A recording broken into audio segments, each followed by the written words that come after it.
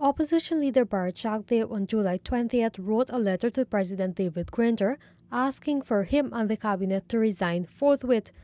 On Wednesday, Director General of the Ministry of the Presidency Joseph Harmon told the media that the president nor the cabinet will be resigning. In general terms, what uh, the the information is that the president, president has um, advised the leader of the opposition that he or his cabinet will not be resigning and that the constitution provides for the president and government to remain in office until such time that a new government, a new president is sworn in. In his July 20th letter, the opposition leader also requested that the head of state issue a proclamation to dissolve the 11th Parliament of Guyana. Parliament goes into recess from August 10th to October 10th.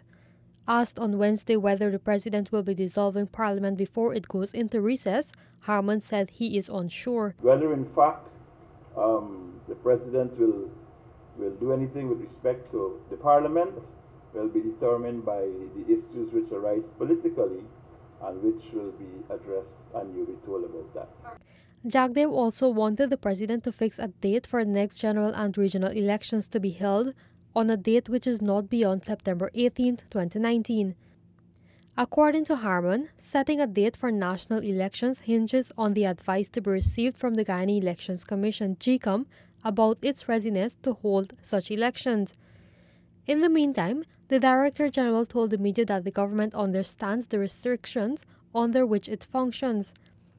He said over the past three weeks, Cabinet discussed the current state of the government and will not take decisions which will impact the function of any new government.